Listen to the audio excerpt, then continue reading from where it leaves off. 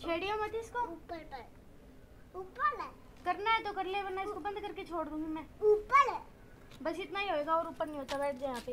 ऊपर है।